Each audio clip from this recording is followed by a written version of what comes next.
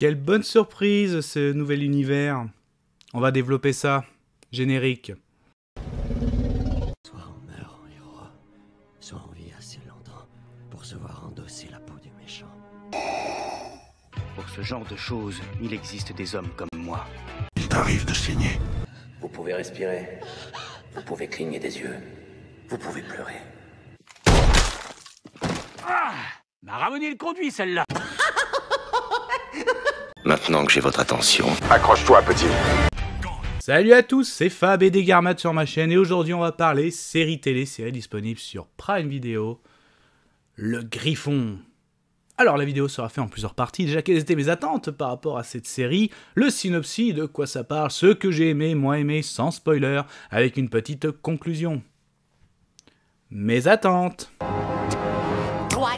Alors clairement, mes attentes, euh, c'est pas une série que j'attendais euh, forcément, mais quand je fais euh, mon petit calendrier, mon petit programme, j'aime bien regarder sur ce que proposent les plateformes, le cinéma ou autre, tout autre support. hein, donc, et là, je vois que Prime propose, donc en ce mois de, mai 2023, une petite série fantastique. Hmm, ça, vous vous êtes peut-être, vous savez sur la chaîne, c'est un petit peu ma cam, la cam de nous tous, hein, j'ai envie de dire. Le Griffon, bon. Donc pas d'attente particulière, mais bon. Qu'est-ce que ça allait donner? Surtout que en ce moment sur Prime, euh, bah je sors de Citadel, moi. Vous l'avez peut-être vu la vie sur la vidéo. Oui, oui, oui, j'étais un peu déçu euh, donc de cette production euh, Prime Video, cette grosse production. Donc est-ce que justement on n'est pas à avoir la preuve que tu sais des fois une petite production ça peut faire quelque chose de très bien? Bon, et ben qu'est-ce que ça donne Bah du coup, allez, de quoi ça parle? Il était une Alors le synopsis de quoi parle cette série Le Griffon, euh, donc 6 épisodes disponibles sur Prime Video. Donc c'est inspiré d'un best-seller. hein. Donc euh, le Griffon, euh, c'est un être au pouvoir euh, maléfique, hein, donc un monstre que certains connaissent, hein, j'en suis sûr, oui, le, Griffon, donc euh, rien à voir avec Harry Potter. donc euh, donc euh, des pouvoirs maléfiques, effectivement, ici de son propre univers. Donc oui, c'est pour ça c'est vendu comme du fantastique, mais c'est un petit peu de la fantaisie. Il y a un autre univers, je vais en parler.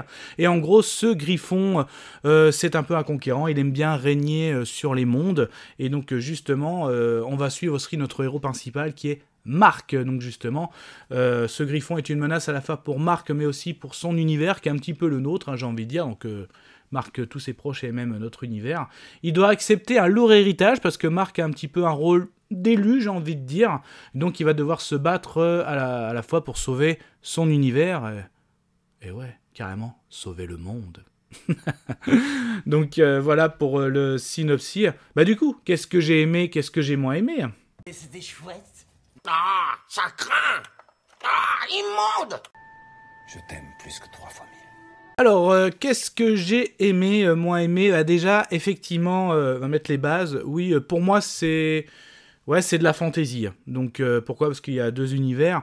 Et effectivement, euh, je rappelle, ça, ce n'est comme mon propre avis. Pour moi, le fantastique, c'est intégrer du surnaturel dans du réel. hein. Donc, euh, ça veut dire qu'en gros, que dans un univers réel, il y a peut-être une personne ou deux qui a des super pouvoirs. Ou... Voilà. Là, pour moi, la fantaisie, c'est assumé, c'est quelque chose qui existe, il y, a, il y a des éléments surnaturels, des monstres, un univers, c'est assumé, ça existe. Bah là, c'est un peu ça, il y, a les, il deux, parce que notamment, les aventures se passent beaucoup dans un autre univers aussi. Donc, euh, après, chacun se fait son propre avis, ça vous empêchera pas de regarder la série, même si pour vous c'est du fantastique, fantasy, enfin bref. Allons-y, donc cet univers pour moi fantasy, hein, euh, pas mal, donc c'est un univers en fait euh, peuplé de monstres, donc euh, le, griffon y règne, ça j'ai trouvé ça pas mal. Au début des costumes, ça fait donc il y a plusieurs monstres, notamment on voit beaucoup les, les chasseurs d'esclaves, donc qu'ils appellent un peu les, les cornus quoi. C'est au début, j'avais peur quand tu vois les costumes, on a l'impression un pauvre masque qui est fixé. Et non, en fait, il y a bien l'expression du visage quand, quand il bouge. Bon, après, ils sont faits un peu de pierre aussi, hein, donc c'est pour ça que ça paraît rigide. Mais c'est plutôt pas mal, hein, cet univers. Du coup, euh, on suit aussi Marc, notre héros, donc ça se passe dans les années 90, pourrait dire en 1994. Moi, ce que j'ai adoré aussi, c'est la nostalgie des années 90. Peut-être un petit effet euh, Stranger Things, bah, d'ailleurs, des fois, il y a des musiques qui font vraiment penser à ça.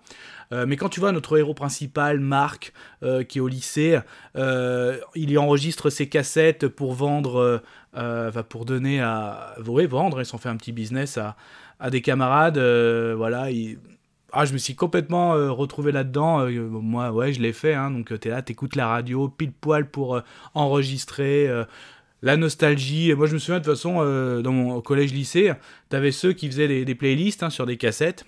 Et oui, ou t'avais ceux qui avaient euh, des codes euh, PlayStation, voilà, qui, qui vendaient des codes PlayStation pour accéder ou pour avoir des costumes. Voilà, c'était un peu le, business de l'époque. Donc, euh, la nostalgie des années 90, moi, ça a marché. Voilà, ça a marché très bien. Donc, euh, notre héros, Marc, euh, Marc euh, notamment, bah, qui est, euh, qui est aux études. Il a aussi un grand frère qui, lui, justement, tient une boutique de musique. hein, avec, euh, il a un salarié. Donc, euh, lui aussi, euh, bon personnage. Ces deux frères ont eu un vécu parce que oui, quand ils étaient petits, leur père leur racontait une histoire avec un fameux livre, une chronique comme ils l'appellent, et c'est là qu'il parlait de l'histoire euh, d'un univers avec où le griffon règne, et en gros, ils préparaient euh, ses enfants euh, à ça.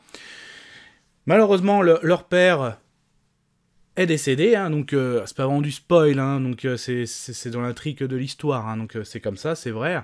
Et euh, justement, euh, et même euh, leur mère prenait un petit peu aussi bien son mari que leurs enfants, des fois, euh, bon, des fous, euh, qu'est-ce que vous racontez Un autre un univers parallèle Non.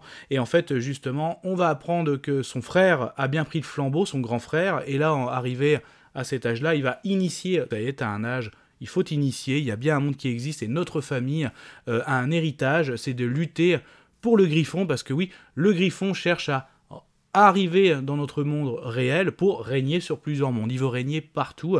Donc en gros, euh, en gros, son grand frère explique bien. En gros, ce sont des élus, ce sont des guerriers élus pour défendre. Donc le grimoire, hein, c'est un petit peu le savoir dans cet autre univers. Voilà. Sauf que malheureusement, euh, le grand frère, il va capturer. Voilà. Donc euh, du coup, on va suivre aussi à la fois de connaître cet univers, de connaître son destin. Euh, ça, c'est vraiment très intéressant. Les épisodes sont bien, les six épisodes, c'est bien mené, parce qu'à la fois, as le premier, on te met les bases, on te raconte l'histoire, ce que je viens de faire. Euh, ensuite, on te présente sur son destin, il a un destin qui est lié. Euh, il va se préparer aussi par rapport à ce destin, donc c'est vraiment bien mené et c'est très intéressant. Il y a des retournements de situation, hein, donc euh, il y a des personnages, tu te dis euh, non, donc il y a plein de personnages, hein, donc, et tu as, des retournements de situation. Moi j'ai trouvé ça vraiment pas mal. Cet univers aussi est vraiment pas mal, hein, donc en plus tu as plein de petites choses parce que quand tu vas, par exemple, pour nous, les êtres humains, quand on va dans l'univers, l'autre univers euh, cornu, j'ai envie de dire, l'univers du griffon, bah, notre corps réagit. euh, voilà, c'est, il y a plein de petites choses, des petits détails comme ça qui, font que c'est très intéressant de découvrir cet univers, hein, donc, euh, ou ces univers, j'ai envie de dire, parce que oui, tu redécouvres la nostalgie dans notre monde des années 90, 94, et tu découvres un univers fantasy. Donc moi, ces six épisodes, ça m'a passionné de découvrir ces deux univers, de découvrir aussi l'histoire, l'histoire de ce héros, de, de son entourage, l'histoire du griffon. Euh, non, concrètement, j'ai trouvé ça assez passionnant parce que en ce moment, les films, films animations, séries, j'étais un peu déçu. Hein, vous l'avez peut-être vu sur la chaîne. Donc là, moi, ça m'a fait du bien. Cette série, franchement, m'a fait du bien. Euh, est très plaisante à regarder. Les six épisodes se font vraiment tout seuls hein, dans, ce, dans ce petit univers euh, fantasy. Voilà. Du coup, la conclusion. Je vais conclure. Conclusion de la série Le Griffon sur Prime Video, ces six épisodes. Euh, moi concrètement, euh, cette histoire m'a passionné. Moi le point fort, la nostalgie des années 90 et aussi, je rappelle qu'il y a deux univers, l'univers du Griffon, passionnant de découvrir ces deux univers. Le point fort de Marc, notre héros, j'ai beaucoup aimé. On voit bien l'évolution de jusqu'à ce qu'il est petit, jusqu'à ce qu'il va grandir et découvrir son destin.